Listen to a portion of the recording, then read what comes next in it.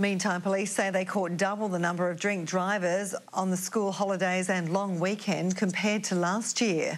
43 motorists were nabbed for allegedly driving over the limit as part of Operation Spring Break. Officers say they were disappointed with the number of crashes. We had a fatal, unfortunately, uh, last Tuesday uh, at Bluewater. Um, and uh, 27 other uh, crashes uh, around uh, that time as well. Seven alleged drug drivers were caught. That's down by 16 on last year.